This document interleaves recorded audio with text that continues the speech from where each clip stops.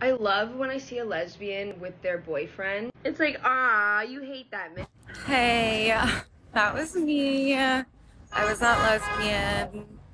So sorry, boys. Um, won't happen again. This whole idea of like celebrities coming out casually, like we have Ellen, it's like a whole fucking to do. And now it's like bitches just tweet, make a TikTok, and it's like revolutionary still, and people get hyped, yeah. but it's a lot more casual. What's up, bitches? Welcome back to another episode of So Wet, So Dry. I am one of your hosts, Autumn. Like the season, there's a new Sims pack about polyamory that just came out, and I'm about to make it my whole personality. Mm-hmm. And I work in entertainment. And I'm your other host, Fiji, like the island, like the water. I think I'm getting my period in a week, and I really fucking feel that shit. And I work in social media and marketing. If you guys are new here, what we do on So Wet, So Dry is we explore duality through deep diving topics about sex, relationships, personal identity, all where internet trends and reality collide. We do post polls on our Instagram story for every single episode that we do. So make sure you're following us on Instagram at So Wet So Dry. The O's are zeros to be a part of that. And wherever you're listening, you can also go to Spotify to support us if you feel so inclined. Um, our listener support is linked. It's 99 cents a month, 4.99 or 9.99. Help you girls out. Yes, and today we are talking about the hot queer girls. We're talking about all the ladies coming out, the seeming boom in lesbian and queer representation.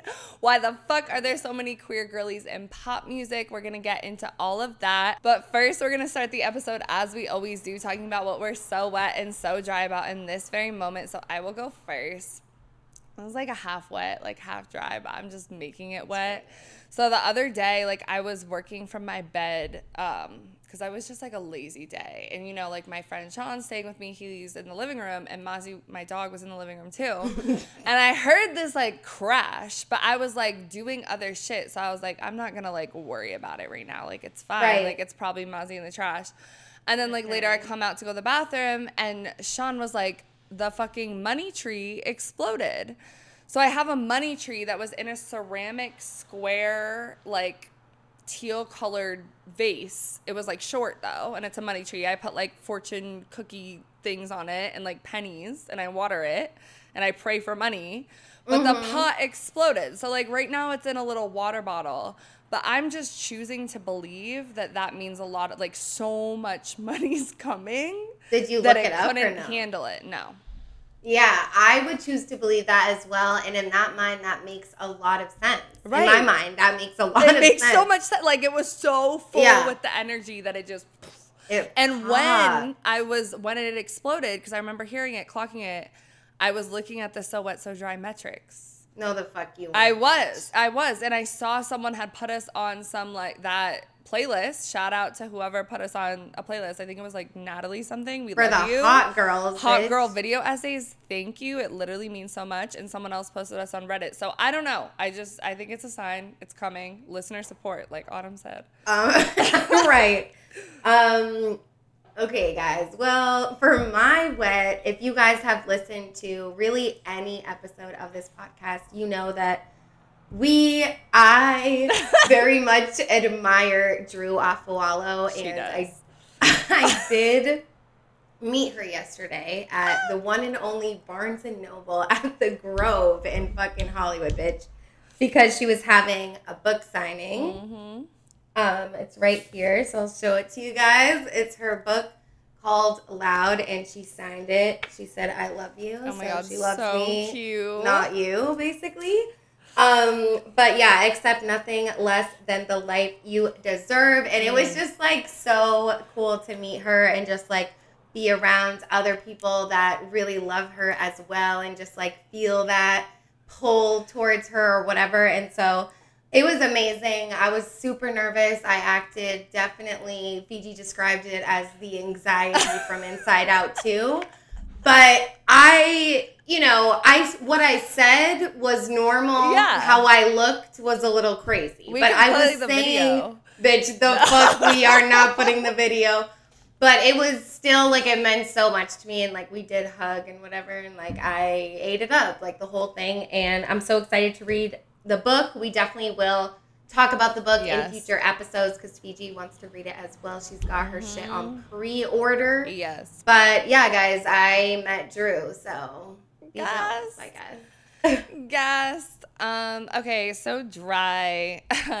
well, first of all, my mom was here this week, which was like cute, nice, like whatever. I don't see I don't see her that much. No, it was good. It was it was a good time. It was good to see her. But like you know it's it's a lot.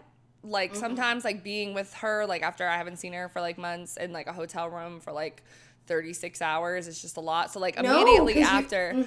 yeah, so it's just a lot. So immediately after I go out with like a couple of my friends, everyone was having a bad day. Like m- all of my friends were having a bad day. I was having a bad day. Whatever. We ate prosciutto and mozzarella and tried to be cute and went to a bunch of different bars. I don't know what it is. I think I'm just old now. I don't fucking know, but I throw up every time I drink alcohol, especially if it's cocktail. Because the one of our friends was the bartender, and he knew I was having a bad day. He knew Sean was having a bad day. He knew my other friend was having a bad day. So when I tell you, like I every time I looked away, there was a new drink in front of me, like a new shot in front of me, like a new mixed cocktail. I wasn't even out late. I was out till like twelve thirty. But yeah, it, at like six in the morning, I projectile vomited of the duck prosciutto on my bathroom floor. And then What? yes. Oh. And then in the toilet as well. And I'm just like every single time it hasn't even been a cra- it's not even like a clubbing crazy night. It's literally Right. just drinks and Out apps with my dinner, friends that turns into me throwing up. And then the next day I'm recovering. I worked. I'm recovering. I'm recovering. I I ordered pokey because that's what you eat the next day after you throw up. I don't fucking know. Didn't make me feel better. I think it was food, So- food poisoning, and I was like dying before recording this episode. So I don't know, guys. Like. I'm only 26, but I feel like I have the body of an old woman when it comes to drinking. And yeah. Right. And I, you know, guys, I pleaded with Fiji, you know, we don't need to record, but this this I bitch was right like- here, she gets it done. Okay? She's better than me. She wants Do like you know she- how terrible I would feel though, guys? Imagine projectile vomiting vomiting on your floor one day, sitting watching Netflix the next, and then the next day having explosive diarrhea in the bathroom. Like I needed to make myself feel better, you know? Yeah, babe. I I do understand and we're doing it. Is it working? We're doing Not it. yet, probably. We're trying our best. Um, so my so dry is it's just it's very unfortunate. But if you guys do like watch the podcast, like I'm not in my, you know, studio in my room right now, so I feel very weird. I hate the background, like it's low key, just like whatever, we're gonna move on from it. Next week be back to normal. But so yeah, I'm house sitting, dog sitting, whatever. I've been here for like a little under a week. And the other day I was having breakfast. Mind you, huge house. Could have sat anywhere, bitch. Sat anywhere. How many chairs and surfaces there are.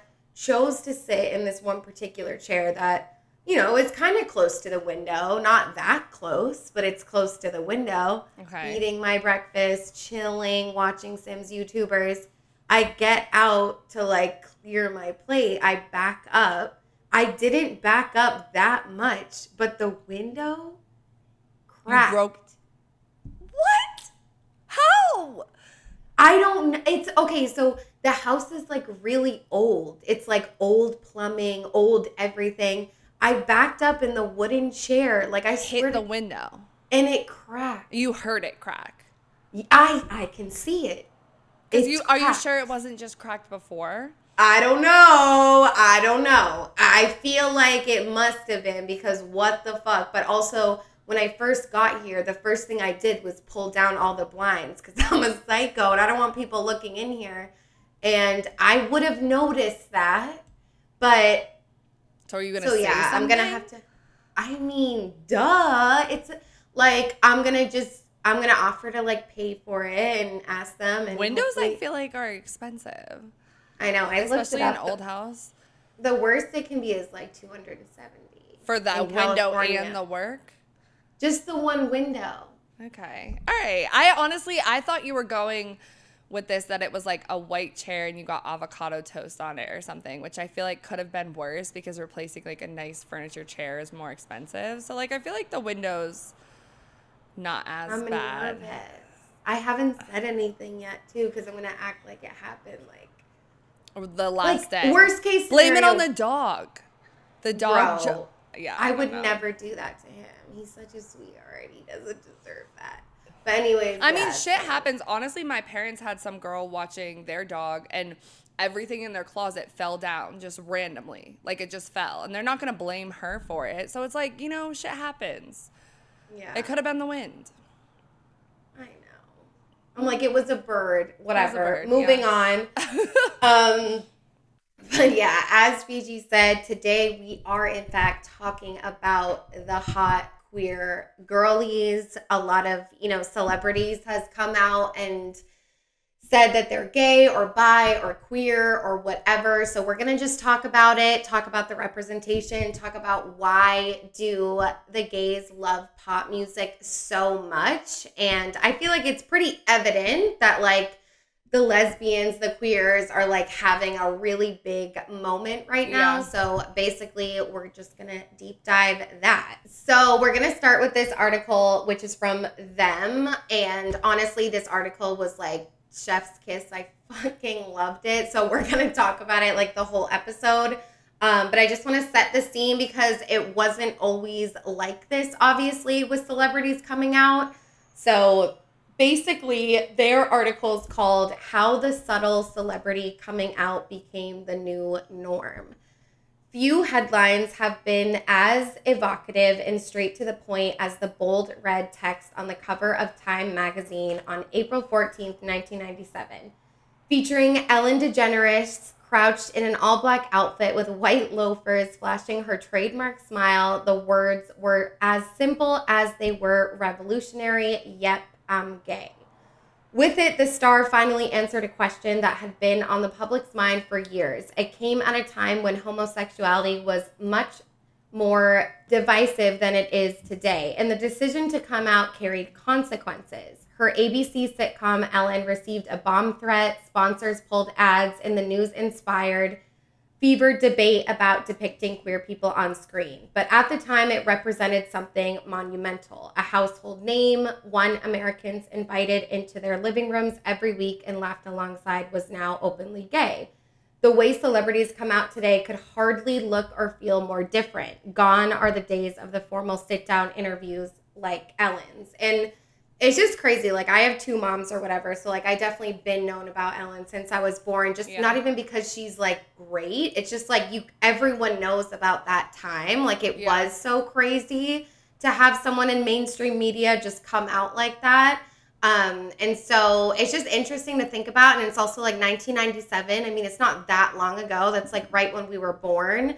So to think about that's what a celebrity looked like coming out 20 years ago to just now where people just like tweet it or whatever, like it is cool and like important to reflect on because you kind of just forget. You're like, oh, well, it's different now, you know? Yeah, because Ellen really used to be like not the only one, but the one in the spotlight that we all knew about. I feel like, like even like, I don't know, like I always had like gay men in my life growing up, but not as many lesbian women. And like all the women in my life would watch Ellen though and loved Ellen. Like they would be like a little weird about, oh yeah, and Ellen's like lesbian, but it was like the first like media personality because it was like daytime television, right? That like Right, every like, suburban mom. Yeah, Yeah. every like older lady suburban mom. Like I remember being at my nana's house eating breakfast and watching that, and like. You know, not that they're homophobic, but they didn't like they. It's not like they were hanging around queer people or like yes, like at the marches and shit like that. Like it was still like a foreign concept to them. So I think like you know, and Ellen got her hate like later on and is like potentially toxic in the workplace, whatever. But I do think she did like a lot. She went through a lot in the media, honestly. She did. She did. I know. It she is kind of depicted as like a devil in a lot of like YouTube things now and I definitely feel like a lot of it is probably true with how she treated the work like her employees, but like you said, I mean, it's like that was crazy. Love her or hate her, like that really did change things for people. Yes. Um, because it's like those suburban moms, they already liked her, you know, Yeah. or loved her even if they're like really watching her show every single day or whenever it was on. And they're like, "Fuck!" Like, am I now? It's either be openly homophobic or just and she was deal like with it. funny like people liked the show they liked her personality and i feel like it really is like sometimes putting people on it's so sad but like not being homophobic not being racist or whatever takes that one friend or that one parasocial relationship for you to be like oh wow Right. they're a human just like us you know Dude, so- I know. So she was that Yeah. for a lot of people. Um, but we wanted to ask you guys, like, do you think lesbians are thriving right now? Like, do you feel that way, or is that just like a false narrative people are writing? Um, 76% of y'all said yes, and then 24% of y'all said no. We also asked you guys, do you feel like more women are queer now than ever? And an overwhelming 90% said yes and 10% said no. Um, and I think lesbians with privilege are thriving right now. yeah I think, you know, maybe not are there I did vote that there are more queer women now than ever, but I think there's just more queer women that are out now more Right. than ever. It's not like they ceased to exist before this. yeah I think it's just like people are more comfortable, it's more accepted slowly but surely in a lot of places at least. Yeah, because that's how I was kind of like at first. I think my impulse was to be like, yes, more women are queer now than ever. But then I think I might have voted no because I was did, like, because yeah, I was like, damn, that's tea. because I think it is like you know it wasn't as safe for women to come out back then and like. You know, Yeah. it, it was harder, especially in like the media and there, because wasn't Nina Simone queer? And um, what's her name? Whit- Whitney Houston? Was it Whitney Houston that was queer? Oh my There's a whole Whitney bunch of Houston them. was Yeah, she that had a were- secret lover Exactly. Yes, I remember watching the movie. She had a whole thing, and then it was like there was like Madonna like kissed women and shit, but it was like a sexual thing and it wasn't like out. So I feel like women were always like bi and queer and like whatever behind closed doors, but they were encouraged either not to come out or it was less safe for them or whatever. So Right. With Yeah. celebrities specifically. Like I'm sure like Ellen's team didn't want her to do that because they Yeah. didn't want to risk money and losing people to the show. And then we asked you guys why do you think this is? Like why are there a lot more apparent, you know, queer women around? Um, and 68% said people feel more confident, safe to come out. 8% said it's trendy. 8% also said the comphet content. And 16% said we are in a men are trash era. Um, and I honestly think it's a combination of all of those things, to be real with you. Like I do think people feel more confident and safe to come out depending on where they're they live and depending on where they're at in their life. I do think it is a little bit of a trendy type of thing. Like, not like people are lying, yeah. but just like, I don't know, it feels that way to me right now. The comphet content, I feel like I saw Kaylani was like the lesbian master doc, like really, you know, like that sort of thing. Yeah. And then we're we're definitely in a men are trash era. So I just feel like all of them. Yeah, I honestly think I think I put fe- people feel more confident and safe to come out, but like I think a lot of the men are trash stuff, like women who are especially bisexual and are having problems with men, are like, oh well, I have the option of being with women too, so why don't I just go down that road if it's not working? And I think it's also like. It's also a cop out that a lot of men say too. Like men will just be like, "Oh, like women these days just want to date each other because they hate men so much." Like da da da da. When it's like, okay, like women were kind of like always queer, you know. So it's like a little bit iffy. That's tea. Do they really? Do they really? yes, like I feel like men now more than ever are a little bit insecure about women's bisexuality and queerness, whereas before they would be like, and they still definitely are like, oh, we can be in a quote unquote open relationship and you can only like date girls. Like I know you've had that happen to you. Like I've had guys say similar shit. But I do think like in more recent times, like men are like, oh shit, like this gay shit is serious. Like Right, you know? because I feel like they're always like erasing it or just like sexualizing it, like, Yeah. oh, it's really for me though, like blah blah blah. But for them to like be more insecure about it, it's almost a good thing because Yeah. at least they're taking it seriously now. Because I honestly would rather someone be insecure and then I'm like, okay, well, if you're like whatever, talk about Yeah. my sexuality, then someone that's just like, yeah, go do whatever you want. Like, I really don't care. It's not gonna offend me when I'm just like, it's the same thing. Yeah. Though. Exactly. Um. Oh God, men are so annoying. Like they Mhm. really that, and they wonder why we're in men are trash. Like right. All right, guys, 2024 is the year of the lesbian, and I'm gonna tell you why. So I woke up the other night and I had this in my notes app, and I have a habit of just like writing random shit down when I have insomnia, like no explanation. But I saw this and I'm like, this has legs. Lesbians have been dominating mainstream pop culture this year, and I just feel fed just a constant buffet of new tidbits. Here's our recap so far. First, obviously, we have lunch.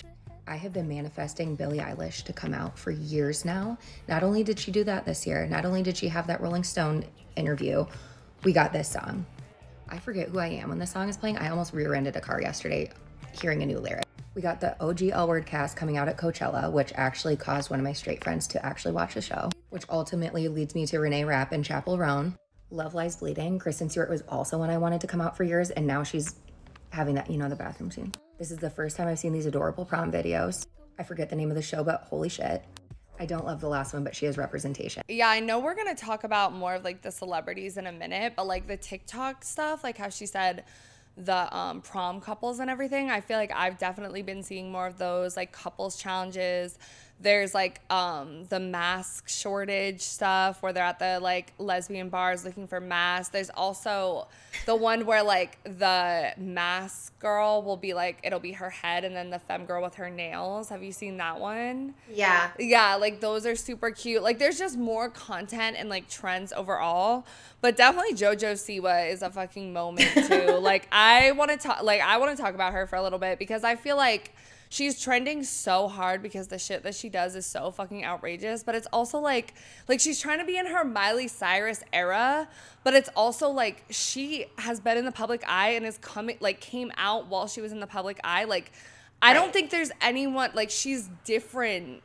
You know like she's she's growing up she's going through her shit. I think she likes pissing people off to get like the rage bait. Like i want to hate her because she's so cringy but at the same time i'm just like i don't know guys she's just growing up like Yeah, the thing is, is like, and I know she's not a child anymore, but like, she is just like young, and it does feel weird for like adults to like tear her apart or whatever. yeah But I've like, I'm an avid, like, I'm a dance mom. Yeah. Like, and so I, that's how I remember JoJo Siwa, just like this innocent girl that would be screamed at by a fucking dance teacher who was so mean. Like, that's what I think of first. And I'm just like, you know, I, I don't I'm not a fan of rage bait, but I'm also just like it's her life. Like it's obviously working. Like I, I Yeah. remember like it was so, like she performed somewhere and the like arena told her like we've never had it this full before. Like she definitely speaks to a generation that is like welcoming her with open arms. But I feel like a lot of people that hate on her are like older. Yeah like the moms of their daughters which i do think like i'm like none of us are hating on her because we're like oh like all the girls are coming out they're gay we love like the queer community. But like her fan base i feel like is a lot more like girly girl southern maybe like the mothers are a little bit more like don't fucking do that which is why i think she wants to have her acting out moment where she's like chugging the fucking fireball on stage and like being crazy Yeah. you know like it's kind of like miley cyrus because miley cyrus was queer too and she was like coming out being more sexual like all this type of stuff and we were like oh my god but she had to like alienate herself from her Yeah. young audience somehow you know like growing up in that space is so fucking hard. Like I would be a train wreck, bro. Like absolutely. Like I honestly, and people that are hating, like they have no idea what that's really like. You know, and she definitely has said problematic things. oh like, yeah I know she's, you know, made people are mad because she's friends with uh Colleen Ballinger, which I definitely oh don't yeah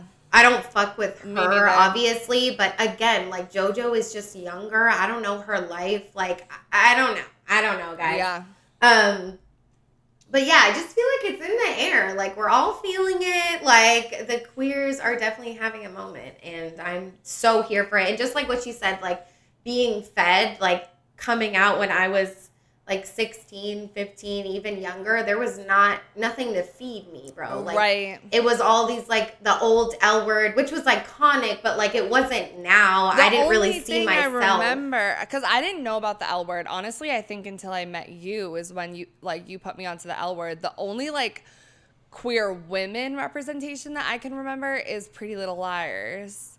Girl, that and that was my that was it. Like, Yeah, that was it. from Pretty Little Liars. Like it wasn't even Shay Mitchell for me. Yes, she's so hot, Yeah, but it was Maya, the character. I don't know I don't name. remember her. But I used to dream, be like, I'm gonna find a Maya someday. Like I'm gonna leave this town. Like I was like so ready. Like, but yeah. And then I had Shannon Beveridge and Cammie Scott. Like I would watch them in high school, and like they were like, I was like, oh, like they're more kind of near my age. Still like a lot, not a lot older, but you know, like Yeah. five, six years.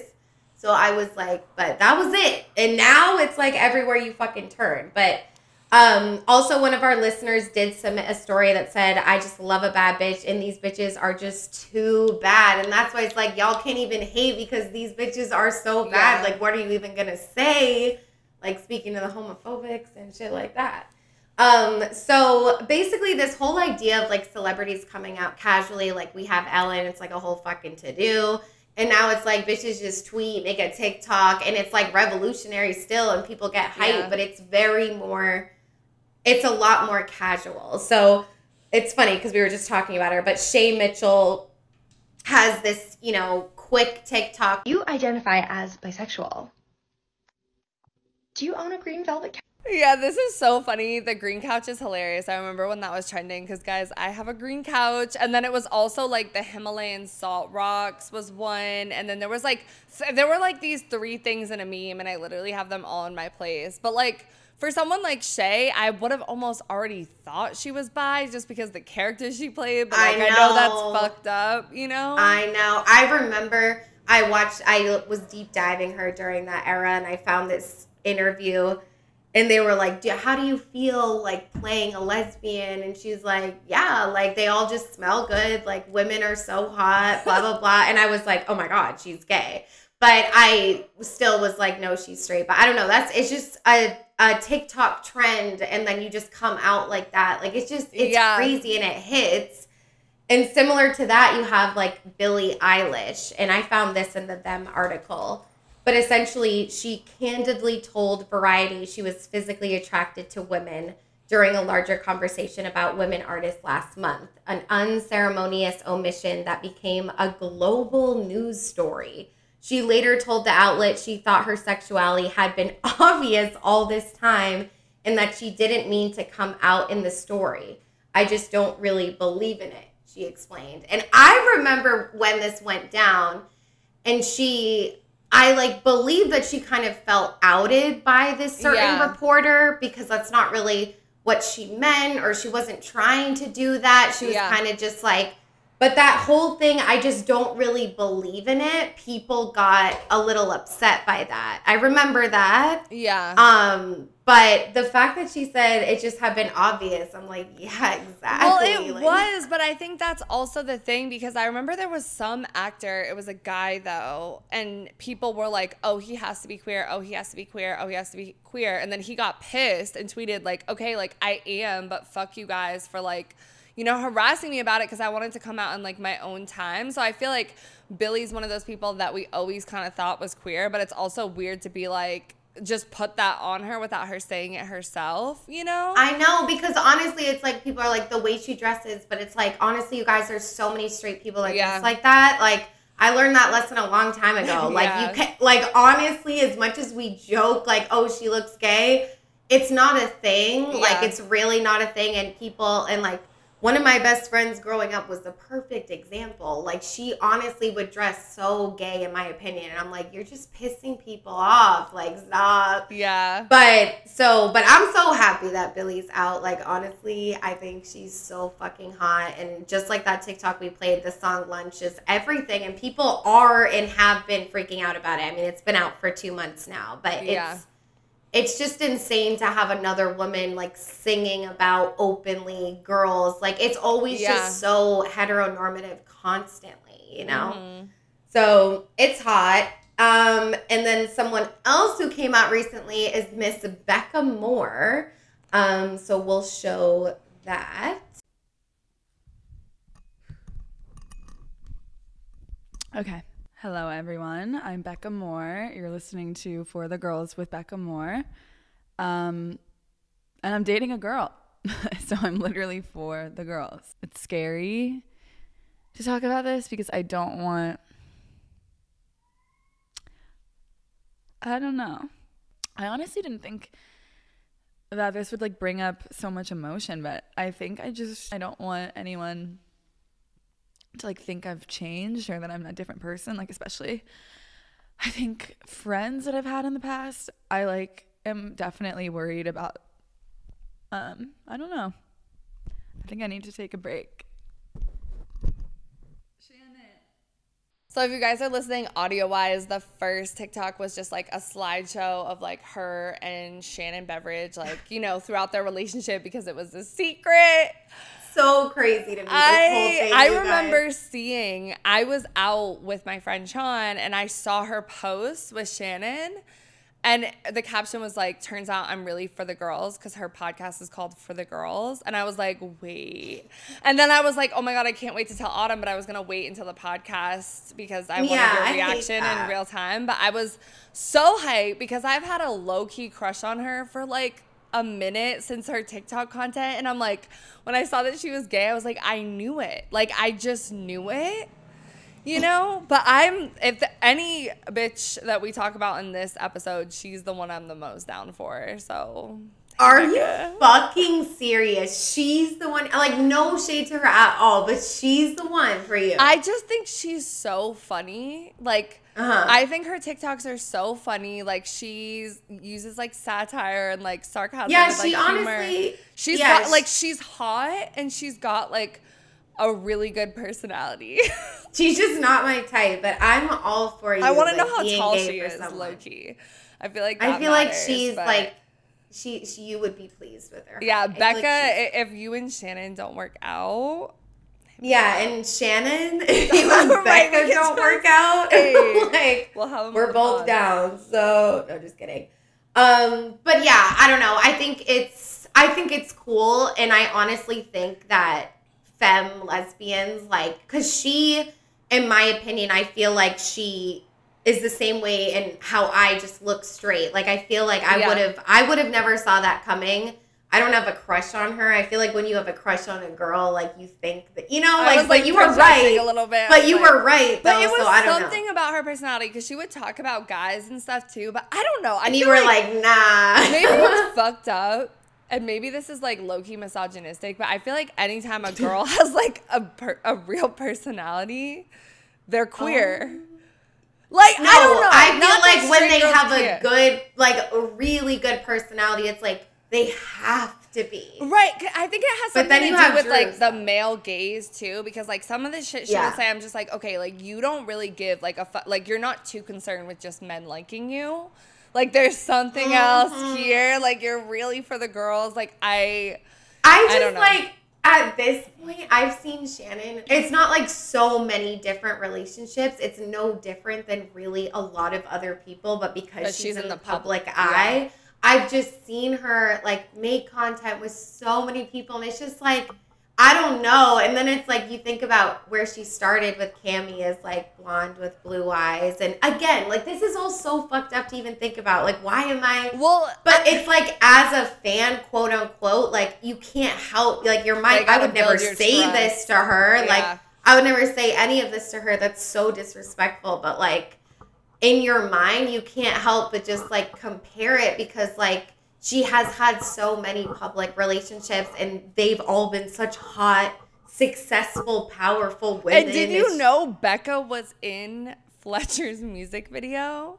Shut the because fuck up because she was. Becca was talking about how like the her podcast episode with her like coming out was really really good. Um, but she was talking about how like she met. I love her. She met Shannon at this video shoot and like she like was so into Oh, yeah, I that she heard was that. tweaking. But she was like, oh like I guess Shannon was like, Has anyone been in a music video? And Becca was like, Yeah, I was and said like Fletcher's, like not knowing that that was her ex. Oh. And and so Shannon was like, okay, like Okay. she just but I love how That's um, hilarious. She just owns like her embarrassing shit. But I will say, Becca kind of like soft launched Shannon, sort of. Like she was calling her Sam and I using know. he him pronouns. Bruh. And I thought that was like a little bit weird. I don't oh, know. oh, you're critiquing it? Yeah, eh. because I'm a little bit like, I mean, I don't know what I would do if I was in her position. Because, like, I do feel like, you know, they wanted to, like, see how their relationship was first before they bring it into the public, like, anything like that. Like, she said her friends knew. But, like, I don't know. Like, they've been dating for a while. Like the stuff they were talking about, like they've been dating for months and months and months. but wouldn't you be like, like, say you start dating a girl, it's her first, like, you're her first queer relationship, and she's a content creator, and she talks about you in her content, but uses he, him pronouns. I think that's fucking crazy, Yeah, bro. But I like- think that's what happens when you date content creators.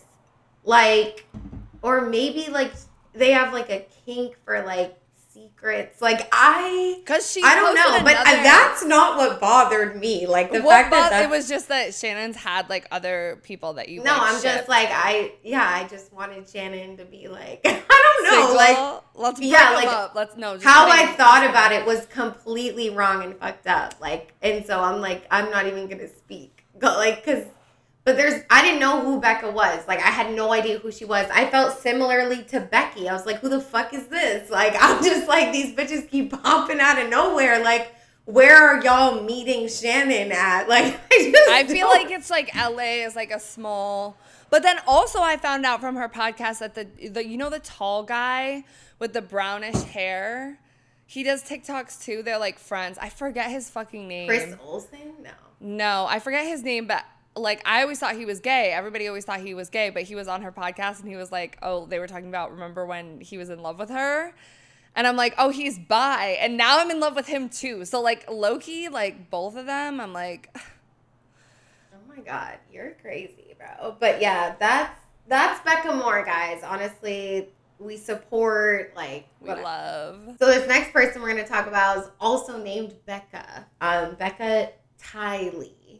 And she's from The Bachelor. And essentially her longtime girlfriend is none other than Hayley Kiyoko, you guys, who is a phenomenal singer, actress, all of the above. But she came out indirectly in May 2022 through an appearance in the Pop Singers for the Girls music video. As she wrote on Instagram, hard to say if this is a hard or soft launch, but it is a launch. I think I've just finally felt ready, she says. The thought of sharing our relationship always made me feel scared and anxious, worried about how people would react, what they would say. I just remember when we were talking about me being in For the Girls music video, I didn't have any fear or anxiety about it. So I had no idea anything about Hayley Kiyoko's like girlfriend. So I was like, oh my God, and she's the runner up of The Bachelor. Like, Yeah. just so much information. I was like, damn, this is crazy. But it's like just another this whole like hard soft launch the instagram posting like i know it's like these are like celebrities quote unquote but Yeah. if we just like take a step back like it's all just so crazy to me that these people really feel like like it's just going even back to shannon and becca it's like they feel like they have to say something Yeah. where because part of me is just like well who gives a fuck like just start posting you don't need to Yeah. say hard launch or whatever. But if that makes people feel good, I don't know. But I do think it's funny how she said like hard, like I don't know if this is hard or soft, but it is indeed a launch. Like I thought that was different. You know? I, I think it makes sense too because like if I had a partner that I was like not public with and then they were about to have like a sexy music video with someone else and I had the option to be in it, I'd be like, yeah, no, that should be me, not the other person. You know, like the fuck. so yeah. Absolutely, bitch. Absolutely. Um, and then Renee Rapp is someone that I guess was identifying as bisexual and kind of uh, came forward and was like, I'm a lesbian, similar to Kehlani. Um, but I didn't know too much about Renee Rapp. Like honestly, I knew that the queer girlies were like like all these people like queer women are like feral for. Like we haven't even gotten into Chappell Roan yet. Like it's like it just gets more and more intense, you know? She was in that show. Yeah, Oh Sex Lives God. of College Girls. Because I remember Such being like excited show. when I watched it because like her storyline was really she was interesting. queer in it, yeah, and she was like Yeah. very femme, very popular, like whatever, and it was a different type of like coming out. I loved it. Yeah, that show it was, was, really so good. solid. But yeah, so we found this from Teen Vogue. Um, and basically she said, it's the coolest thing ever because I've only recently started referring to myself as a lesbian. And I've only recently been in a relationship where I'm like, yeah, I'm a lesbian for sure. Renee Rapp told The Hollywood Reporter in an interview. The Sex Lives of College Girls actor and singer describes watching footage on TikTok scenes from the show's first season, in which her fan favorite character, Leighton Murray, comes out as a lesbian. The scene she found shared parallels with her lived reality. It's so interesting that at the time I wasn't even aware that what I was experiencing in my own personal life was actually exactly what I was doing on screen. I was in a relationship with a man, incredibly confused, unsure of myself, feeling so insecure in my acting. And I watched the scene the other day and I was like, wow, I feel so lucky to have that, she said. Um, and so basically we had that. And then she affirmed again that she's lesbian um, after a SNL hosting performance earlier this year. And she was described by fans and press as hard launching her lesbian identity, an evolution from how she'd previously identified publicly as bisexual. It's not the first time that Rapp described exploring expressions of sexual identity through character interpretations as an actor. Speaking about her turn as Regina George in the Mean Girls musical adaptation, Rapp told them that Regina being a lesbian was always my interpretation of it, still is my interpretation of it. It might not be other people's, but I, and I truly don't care. It's mine and that's how I feel. Two weeks ago, the singer posted a video to YouTube lip singing over her hit song Tummy Hurts, in which lyrics describe aching over a lost lover with the caption, writing this, then coming out as a lesbian, I contain multitudes. So obviously a lot to unpack. I love that she thought Regina was a lesbian and like everyone else like felt that too just because of her and like people again went feral for her and I think it's so crazy for her to see those parallels in her sexuality on screen and off screen. Like that must have been so surreal. And it just makes, you know, watching the show as a viewer, like honestly just more powerful because she's like, she couldn't even differentiate the two characters from like herself and her character. Yeah, that's like really like the universe coming together to be like you're exactly where you're supposed to be, and like it's like Talk all about angel connecting, numbers, Like bitch. that's so crazy. But I have thought before. I didn't know. I haven't seen the Mean Girls musical adaptation, but I had thought Don't. before that I had thought before that Mean Girls was kind of gay because I'm like. What's what's her name? What's I the- used to feel gay feelings watching Mean Girls right because child. how Regina like, would always call um what's her name Janice Ian. Jan- Janice um lesbian and then I heard other Im- interpretations that Janice was really Lebanese and that's why Regina said that but I was like also like you know how she like couldn't, she was dumb. yeah, Yeah. but like girls do like gay shit like when they're younger growing up I and think how they were to the audience. Like it could be some like internalized homophobia, like she wanted to outcast her so she didn't have to deal with her own queer identity. Like I don't know, like The backstory writes itself. Right. It writes the mother. It's and I love that, dude. Yeah. And if you really think about it, exactly, that's so mean girl to be like, oh my god, like she kissed me and I liked it, and now I'm gonna ruin Like, her bully life her, yeah. Make sure everyone, no one thinks it's me. Um, but yeah, Renee Rapp is just so unbelievably fucking talented. Yeah. And it's just like, like I don't know. We still have more to talk about. And it's just like there's really so many women right Yeah. now. It's, it's crazy.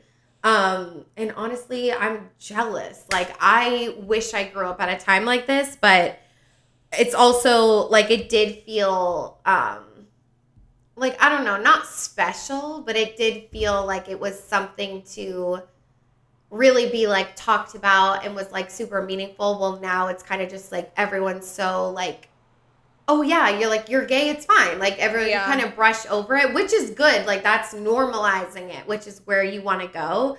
But it's just a different experience. It's like low key, like you're part of history, though. You know, like you know how people talk about, oh, I remember like when fucking 9-11 happened, Yeah, or when old? schools Yeah. were segregated, or gay marriage wasn't legal, like all that stuff. Like it's like you know, we did kind of grow up in the time where it was like.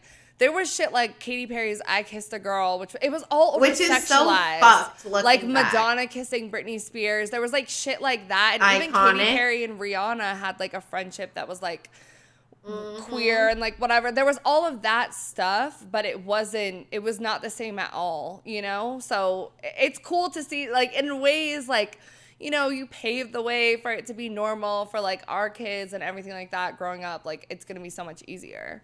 Yeah, oh my god, so much easier. Um, and then also Kehlani, which I'm a huge fan of. Like, I honestly have an article, but I don't even need to read it, guys. I know exactly what the fuck happened. Hey guys, Autumn here. Just wanted to pop in quick and say that this episode was recorded before Kehlani's ex boyfriend, the father of her child, came out with allegations against her.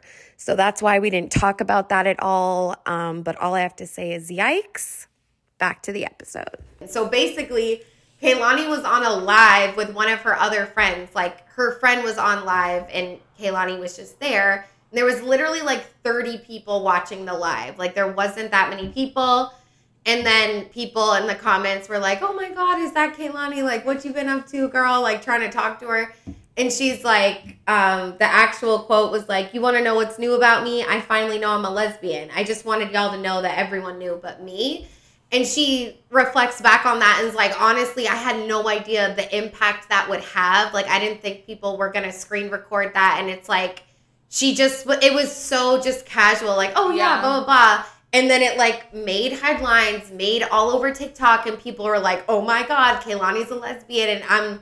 And then she tweeted a video and was like, "Yes, you guys, like this is what happened. Like I was just on this live, but like yes, I am a lesbian. I've like been known that for the past however many months, but now I just told you guys, you know." Um, but I definitely was like, "That's cool," because I Kehlani's always been someone that sings about you know men and women and i always would go more towards the songs where she was like singing about women just because there's like so she wasn't cuz I thought she identifies as bi. yeah but now she identifies as lesbian not bi Oh, so this was more recently. Super recent Okay, because I just sent you while we were like getting ready before we started recording. I sent you a TikTok about like I she know. got married on some low key shit, but they're not like married anymore. Because I Yeah. remember she was bi, and then I remember she like got pregnant with that guy, and everyone was like, "Oh, she's not really bi," which again is bi erasure. People love to do that when like someone you know goes Uh-huh. back to men or whatever. But I didn't know that she identifies as lesbian now, which is like got like I don't know. Sometimes the identifying as shit can be like a little much with your because it's like even you like to say like you're really pan, but you like to say bi. Like it's like it's it's weird. because what does bi even mean like Yeah. I'm, i've always been you know what i mean it's like more than two genders cool but if it's just two genders then that's not And that's I the don't- thing, because I like to say I'm bi too, because I feel like that's the closest to how I identify. But at the same time, I don't believe that there's only two genders. Like I don't really believe in like the binaries of just like, you know, men and women. Like I believe in non-binary, like all of that, and I would be open to other people too. So it's just weird. Like I feel like we like put these labels as part of our identity, but like it's it, you should be able to do that. I just hate when other people use it against you to be like, oh, see, you're not really bi. Oh, see, like, and then you feel like you have to identify as lesbian because you're in like a lesbian relationship now. But like, what if she starts dating a man again? And then it's like, oh, you were never like that. Is I just know. like, guys. i know just let her do what she, just let her just let her do what she Yeah. wants. Um, she was actually, re- I think it was recently. She was on that chicken shop date show, the same one Billie Eilish was on. The Yeah. video I played. You should watch that. She looks hot as fuck. Love. really cute. Um, but let's move into some impacts on the culture. Like, what is this doing to the rest of society? So, we asked you guys who out of the following is your favorite queer celeb right now? And the winner was Kehlani at 36%. Chappell Roan at 28%, and then tied for 18% was Renee Rapp and Billie Eilish. And I honestly thought it was going to be Renee Rapp because she was winning by a ton on just my polls. I know, I know. Usually for me, I would say Kehlani, but Billie Eilish has me in a chokehold right now. Yeah. So that's who I said. Um, but there was no rhyme or reason. I honestly was just curious what you guys were into. Um, I wish we could have put more options, but those are just some bitches literally killing it right now. Yes. Um, and then we also asked you guys many celebrities are coming out as LGBTQ. What do you think this does to the culture? And 67% of you guys said it makes people feel empowered. 29% said it makes being queer cool. And 4% said it increases backlash and judgment. Um, and I definitely said it makes people feel empowered. Like I want to look on the bright side of things. I mean, I definitely think it being queer is cool now, like cooler. Like the hot girlies that are queer always have like good, not always, but like usually have like good style. Like they're in the media. Like we're doing different stuff. So I don't know. I, I think it does have a coolness about it, but I don't want to like get into the territory of I'm like, oh, it's just trending, you know? Yeah, yeah, yeah, yeah, totally. I think it makes people feel empowered 1000%. Like that's what representation does for sure. Um, I mean, we're going to get into some increased backlash and judgment and things like that it's more so just like you know with more representation there are you know more people that will comment hateful things but i think overall it's so beneficial. We need it. Yeah. the queers have been dying begging screaming crying for it. So overall i think it does make people feel empowered. Mm-hmm. um, and i think that's a good thing. And speaking of someone that's made people feel fucking empowered is miss chappell roan again, people are feral. They love Chappell and as they should.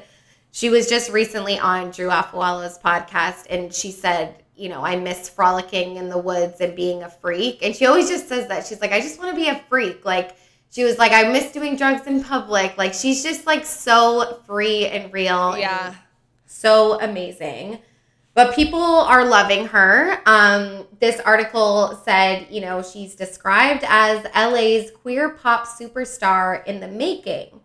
Roan's music and her story heavily centers on sexual liberation and the unapologetic acceptance of her queerness.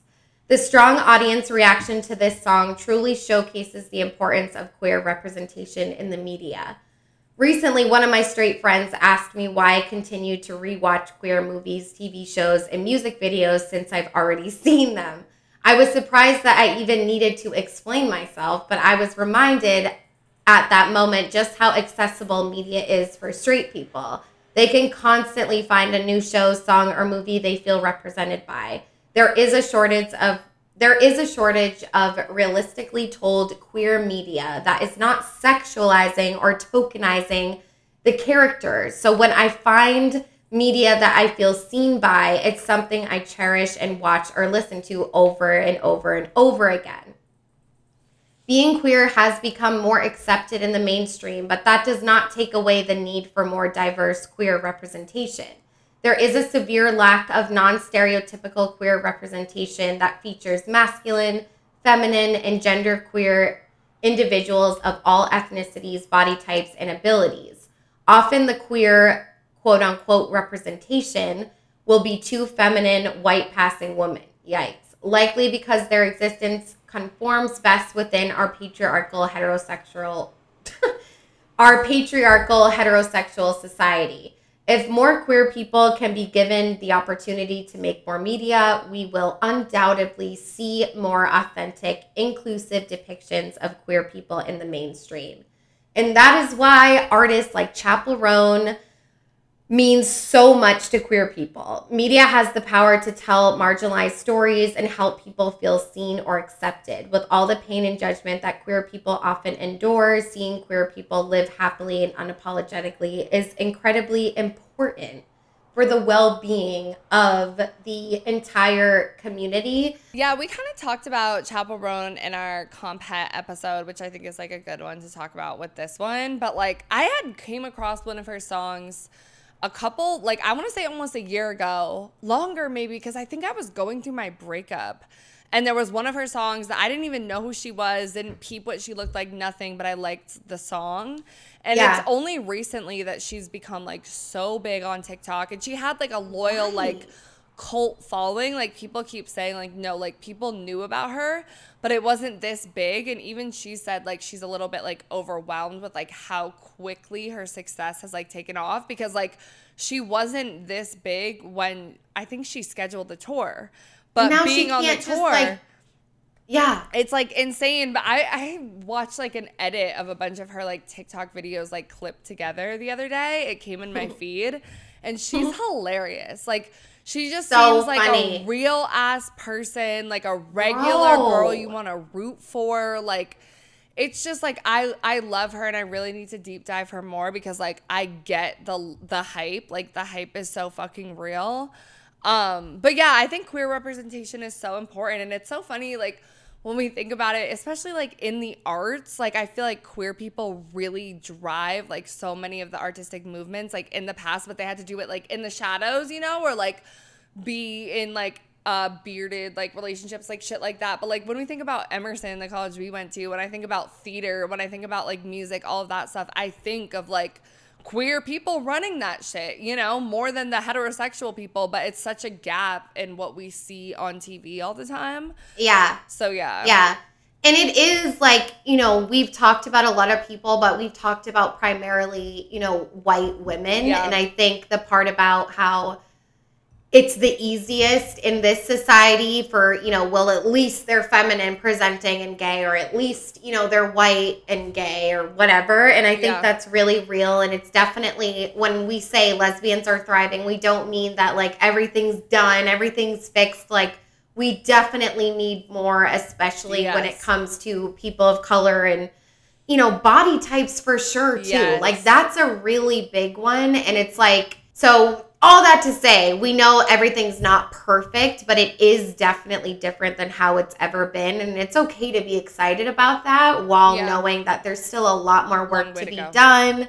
Um, just like with most things. And it's crazy with Chappell Roan too. Chappell Roan, I read that, you know, this sort of um her album to go big and this song it was kind of like her last try before she said she was gonna go home because it was so hard like making money in la and she's like i didn't have any money. Like i really was like i'm just gonna try this and then if it doesn't work like i honestly have to go back home. Like i can't crazy. do that. And like i don't know just to hear her talking about money too she's like i'm not afraid of like being like broke like i've been there before. And just what you said like the realness is crazy in her and it's so evident and i feel like that's why people love her so much. Um and she definitely has a different look. Like she's not someone you see all the time. Like she is a white woman obviously but i do think there's something very special well, she does drag like she does right that's her original drag name is chappell roan Yeah, and she like wears the ma- like she always like does like odes to like other famous queer people that I haven't been tapped in enough, but that's like what I've seen that she does. Yeah. But I do think like cuz I'm thinking about it now like it is like in the spotlight right now predominantly white women and it's interesting because when you think about it like Ice Spice is bisexual. I think Dej Loaf just came out as gay or like or queer I something. love Dej. The one I that know. the one that our song. That song. Yeah, yeah, Yeah. And people were like, oh, like this makes so much sense. We always thought that she was. But isn't Cardi B bi too? I thought Cardi no B. fucking idea. Yeah, and there's like a whole bunch of like other black women that I think like are queer. And like even in Bodies, Bodies, Bodies, I mean it was like uh interracial relationship, but like one of those girls. So there is a lot of black women, but I feel like for some reason they don't get like the press and the media attention as much as white women do They don't. you know so don't. i think that's like you know uh, we think of like Kehlani and stuff, which is like good to include. But like, yeah, I feel like there's definitely more, but we need to do do better about like giving them like media attention and also just like you know raising their voices and not just white women. Yeah, and I feel like specifically kind of like when we're talking about like pop music and like artists and like that sort of thing, like it really is whitewashed in that sense a lot and Yeah. it is kind of like again, it's okay to be excited about it, but it's also like you know, okay, like you know, part Well, of it is kind like- of like Yeah, because pop music I feel like is very whitewashed. When you think about like Michael Jackson is like the like mainstream, yeah. Yeah, yeah, Yeah. but it's like right now it's like Sabrina Carpenter. You've got Taylor Swift, like all those. And it's yeah, so also very very- gay. Like I, it is, but it's also like we're gonna talk about at the end, like the queers and pop. Like it's a huge thing, the queers with Yeah. pop music, and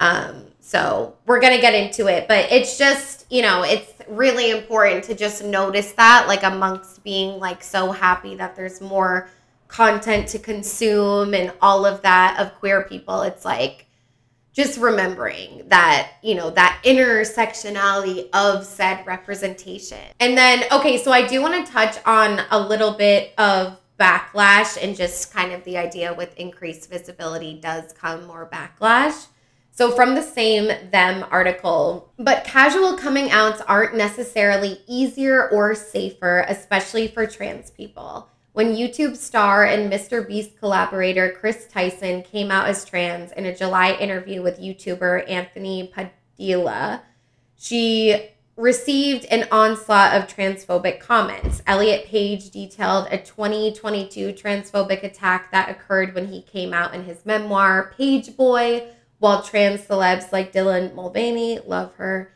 and Laverne Cox have dealt with similar online and in person vitriol after speaking about their transitions. With increased visibility, we often see increased backlash, especially from the vocal minority of people in this country who oppose our very identities, adds Bright Williams.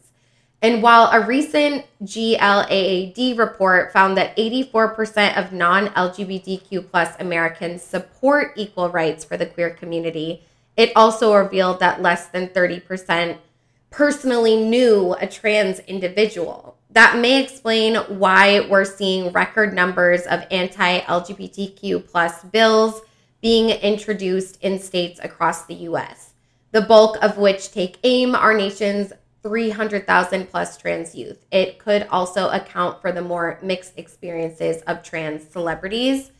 So definitely don't want to leave our trans, you know, sisters out of this at all. There are obviously a lot of trans lesbians and we're talking about the queer girlies, like whatever. And so it just shows like, you know, as some things help in a movement, as some things continue to get forward, like it's just not there for trans people yet. And so I just wanted to acknowledge that and it fucking sucks, you know, and Yeah. Dylan is someone that I've followed for like a pretty long time and she's just so inspirational and sweet and genuine and people really do attack her constantly um and it's just like she's not doing anything any different than anyone else you know like she's Yeah. just out here living her best life so i don't know. Yeah, I honestly didn't know any of them except Laverne Cox. I know who she is because Mm-hmm. she was also similar to Ellen. To me, she's one of the trans women that I think like really hit that suburban mom audience because Yeah. she was on it's not house, but it was like what it was some law show, some show she was in. She. She's an actress, and like my mom watched that show, and I remember like orange is young- the new black she was in that, but she was in something else where she was like a, a lawyer or a secretary. Oh, yeah, you or said law show. Okay. yeah, something like that. Because I remember my mom being like, "Oh, I really like her," and like I listened to an interview about her, and like similarly, it's like you know those conversations weren't necessarily like coming up in my house before that. Like more with my dad because he's in the arts and like he's worked with like you know other trans writers and stuff like that just at like panels and speaking engagements.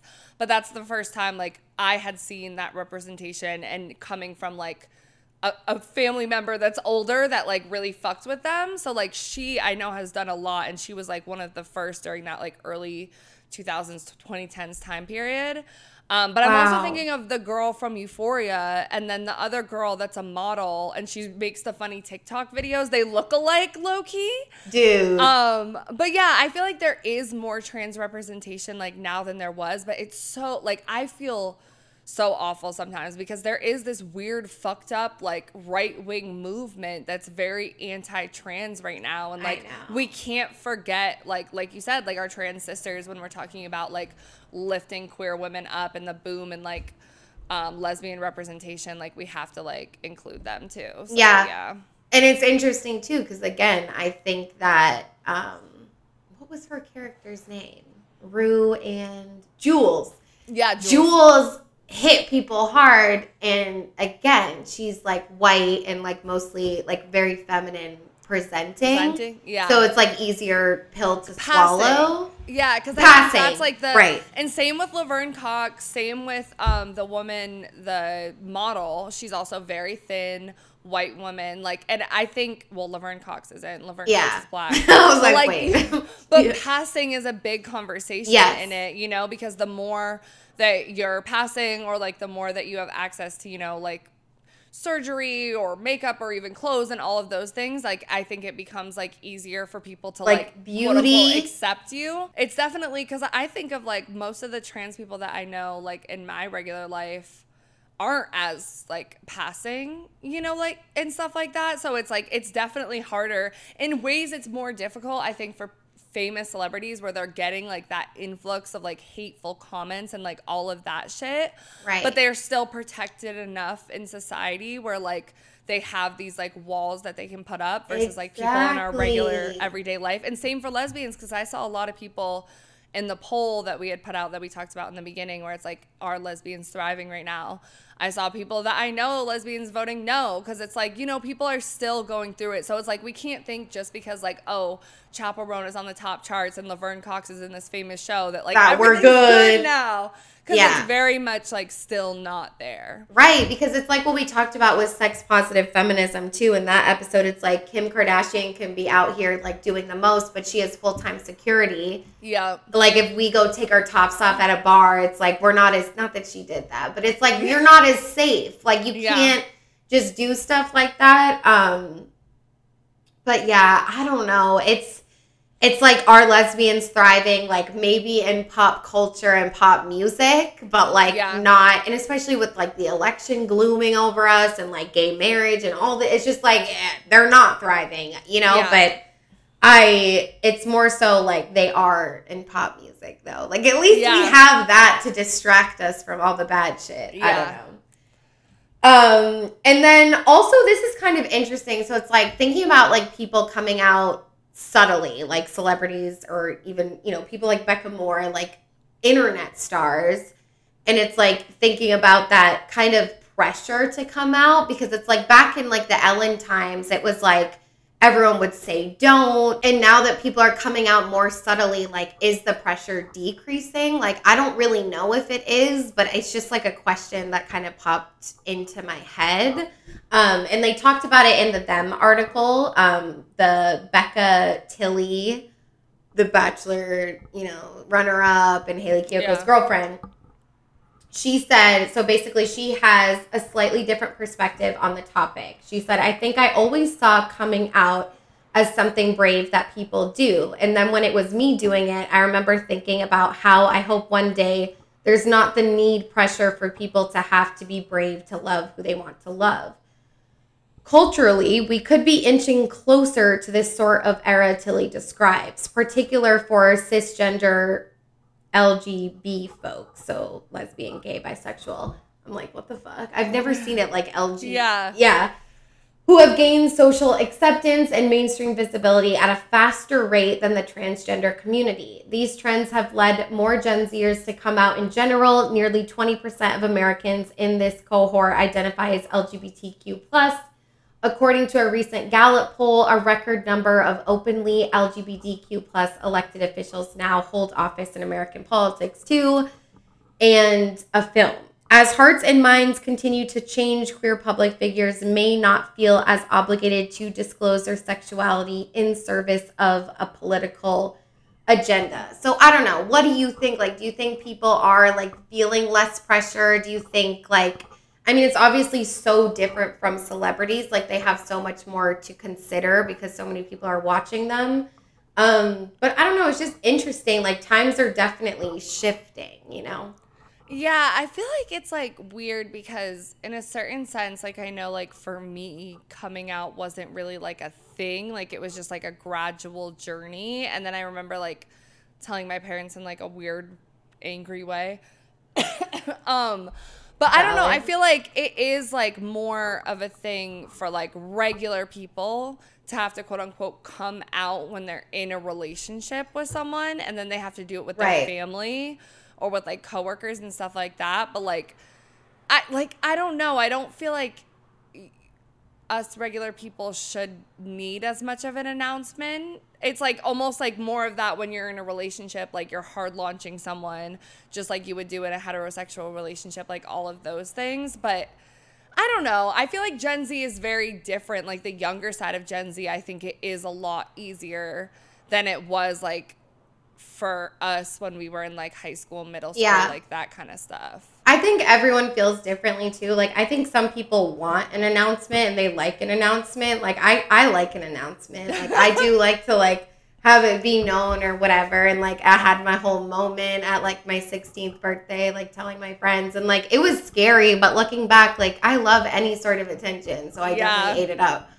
But it's also like it's so privileged because I had two moms. Like I was good, you know. I didn't have any worrisome other than like being bullied at school, which like I definitely got, but like I had thick skin. Like I was like, you know, sexting Tumblr girls. Like I didn't give a fuck. I was like, you Yeah. guys have no idea. Like life is so much better for me now. So I don't know. I just feel like it just depends on what you really want. But I do think with people just coming out more subtly and it's not as big of a deal in the conversation, it's like there is less pressure, which I guess that's nice. You know, I don't want anyone to feel pressure. It's like if you don't want to make an announcement, like definitely don't, but like don't discourage if people like to. And I even find myself like being hypocritical, like with Becca and Shannon. I'm like, okay, like we get it. Like you don't need a hard launch like 50,000 times, like on Yeah. individual, all of your 16 platforms combined. Like we get it.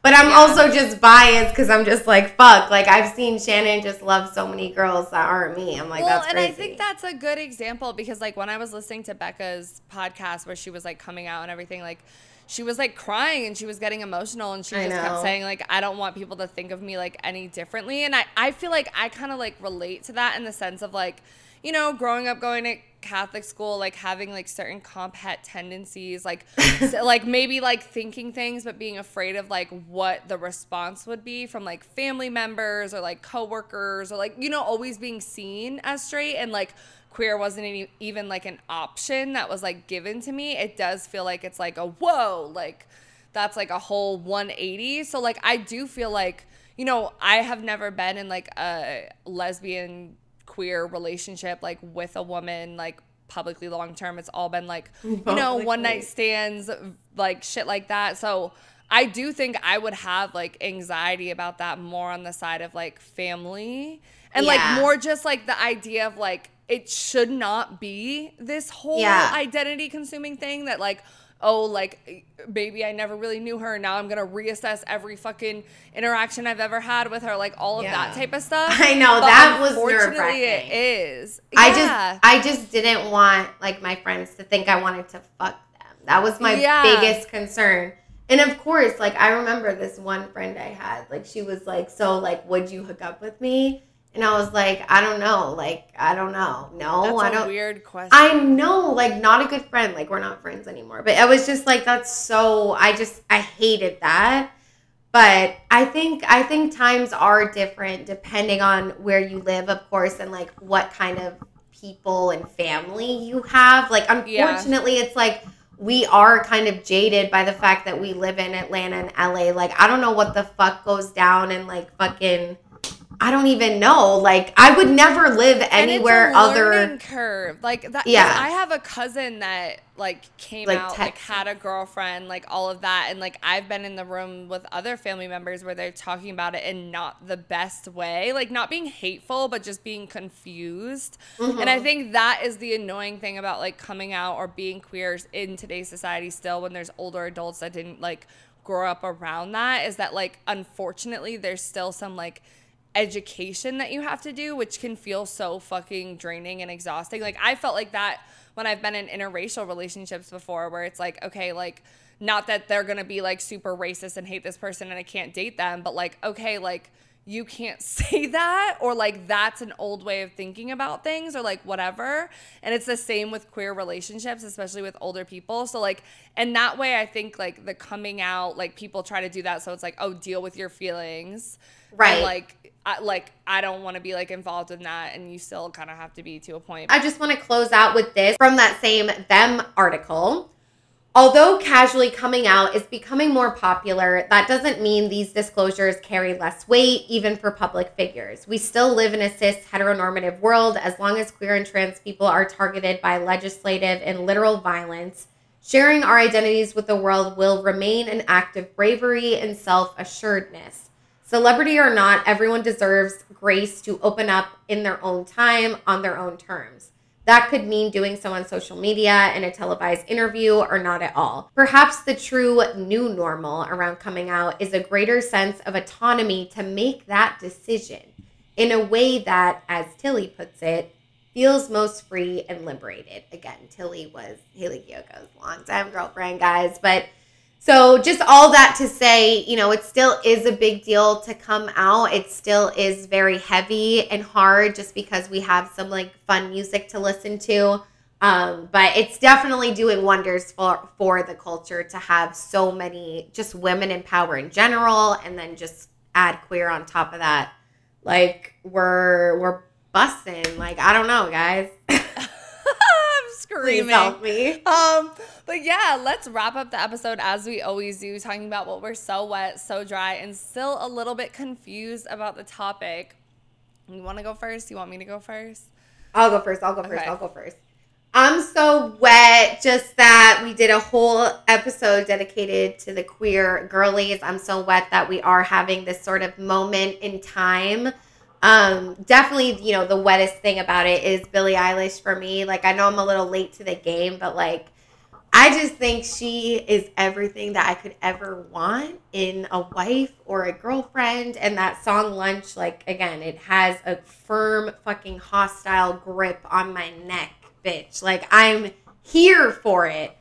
Um, and just, I don't know, like, just to reminisce kind of about how it was for me to come out and what it was like in school back then. Like, no one was singing Brat Summer, bitch. Like, it was very.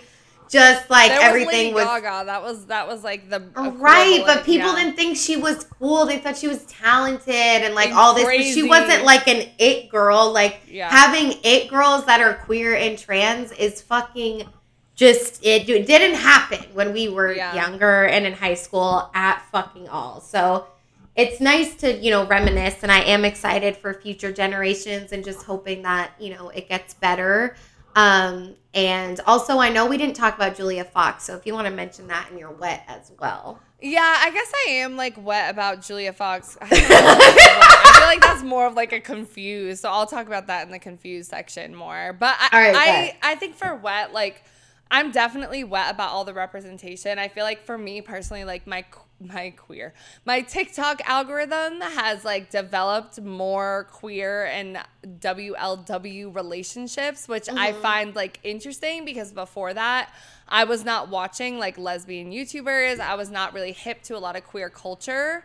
But I Yeah. think in in a way, like for someone like me who, you know, like I'm open and I own my bisexuality, but I do feel like still insecure in a lot of ways about my sexuality and like nervous to explore relationships with women. Like it's it's still like that like coming out idea of like being in a relationship with a woman is something that does still like bother me a little bit and is something I would be like anxious about like if I was with a woman. So I Mm-hmm. think for someone like me, it helps a lot to see like people like Chappell Roan, Billie Eilish, Kehlani, like all of these women like being femme and owning their queerness and being themselves and like all of that because I think I've been around a lot more like gay men. Like you were really like the first like lesbian woman that I was like hanging out with.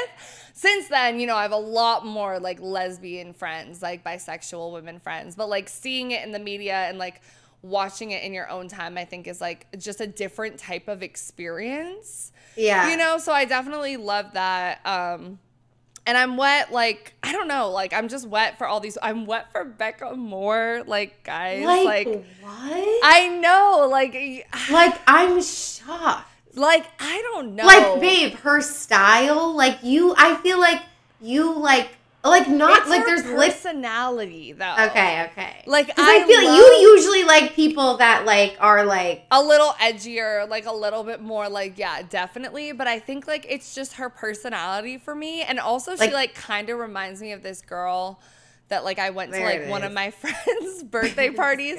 Remember when I went to Florida to go to her birthday party, and like her friend had a friend there, and like there was little like- Yeah. and she was very like blonde, like basic, like white girl vibes, but like we had a I don't know. Like I do I think I Mm-hmm. can like I'm all over the spectrum when it comes to like types of women that I like, but like Becca, she just does it for me. I don't know. I'm so surprised by that, bro. Like she's really hot though, for Yeah. sure, honestly. Um I yeah, that has me shook. Okay. I'm so dry. I'm so dry. Obviously that there's still a lot of work to be done representation wise and I don't want people to feel, you know, confused or feel like everything's okay because of all these, you know, pop artists that are queer. Like there still is so much work to be done, especially everything just feels so crazy talking about this during this political election and like everything is just so so heavy right now. So I definitely don't want I just feel like we deserve to be happy too Yes, and like celebrate the small wins. So like it's okay to be excited and stuff, but definitely dry about all the heavy stuff and very real stuff and legislation and just everything going on. Um, and especially you know for trans people of course and trans people of color to even go further than that. Like it's just like it's a very scary time.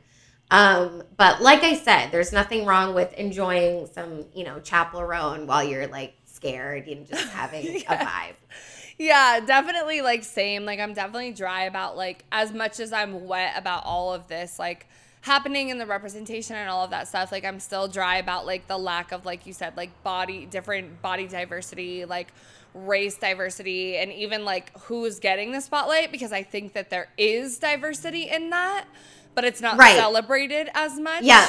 And same for um, trans women and trans queer people and like Exactly, all of that. Like, I do think we need to do a better job. And like, like, like you said, the political cli- climate right now for trans people is just like so fucked. we're confused. I mean, the only thing I really feel confused about, we didn't really talk about it too much, but it's just like the whole being gay or bi or lesbian is like trendy.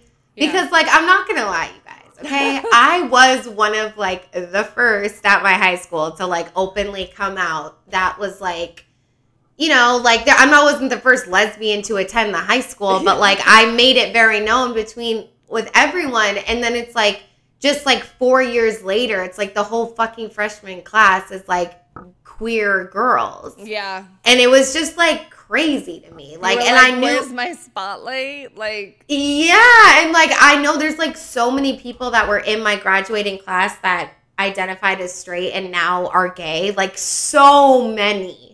And so it's like I felt like I was the only one, but like really I was just like one of the only ones with two moms that was also you were gay the because brave one, you know, like Bro, so I'm just like- head, yeah. and now everyone's just all like, "Ah." so I don't know. I'm just like, okay, guys, like, I'm like any of my high school bullies that are like, it's brat summer. Like, I'm, I'm not. No, dude. No, dude. So I, I don't know.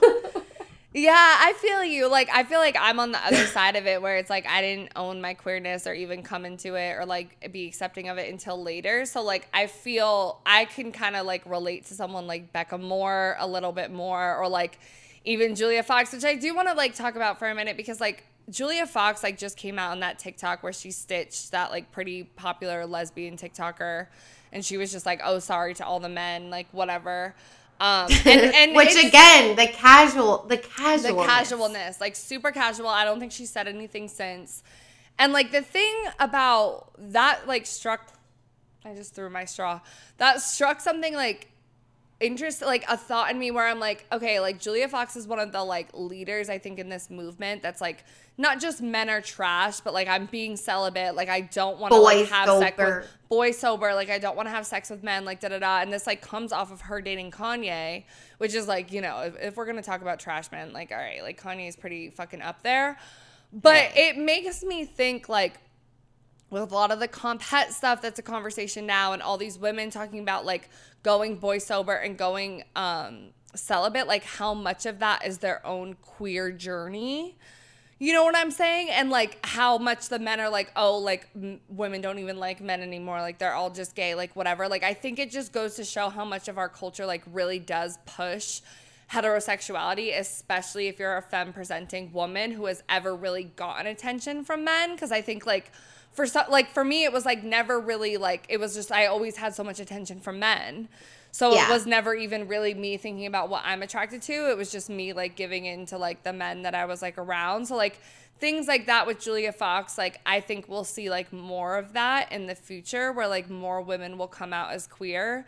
And it makes me think Yeah. about the gender wars like a little bit differently. Like it's a it's a whole thing, you know, because I know. I think the comphet, the lesbian doc, like all it's changing everything and it that's that's like so interesting to connect like boy sober to like coming out like Yeah. because it's just like bro, I don't know. I know. It's like the society like hasn't really allowed people to deep dive their own sexual fluidity that it's just like Yeah. now all of a sudden where it's like a little bit more known it's a little bit more mainstream it's like we hate men and we're gay like it's kind Yeah. of like what i've been saying i always wanted and like knew i was like we can just take the men's sperm Yeah. we can package it Yep. and save it and like everyone's just gay and it's like kind of slowly happening and I'm like wait a second I don't I don't want this happening? actually I said to Fiji like this is so fucked up like honestly I might have us cut this out of the episode but I just feel like honestly like like a fun part about being queer is that not everyone is No, You I know? have I have a friend that says that I'll too. say it, Like team. he'll say like he likes to be the only gay one at the job that he's It's working at because he likes to be the star. Like you don't want to share the spotlight. You know what I'm saying? So like yeah, like it used to be much more like that, but now it's like everyone is fucking gay. And it's it's also funny like did you see when Trump got shot, like we were like, oh fuck, like he won the election, like it's fucking over. And I saw so many tweets that were like, all Biden has to do is come out as bisexual and he won it back. And I'm like, no, like low key, because it, I feel like I- in certain ways, like. I don't want to, I never want to like claim that it's just publicity and it's just whatever, but like I'm sure that there are also people out there that are using it as a publicity thing because it's trending right now. So I don't want, like, I just want to like throw that out there as a thing too, because I think because of this moment, like, people can queer bait, people can do that, and and that I it could benefit them. So it's this, it's weird. The I tables know. are turning. I'm a little I confused. And I also do think I just last thing I'll say is it is like a little like it's it's privilege to be like, oh well like I liked it when I was the only gay one because Yeah. it's like, well, you obviously didn't like experience violence or anything. Because if Right. you did, you wouldn't be saying that. Yeah. So I just want to note that I do know that, but like I was just like being real for a second, guys. Like that's my experience, I statements, whatever. So if you made it this far in the episode to the very end, thank you so much for listening. Like you literally are the reason we do this. If you're still listening right now. you.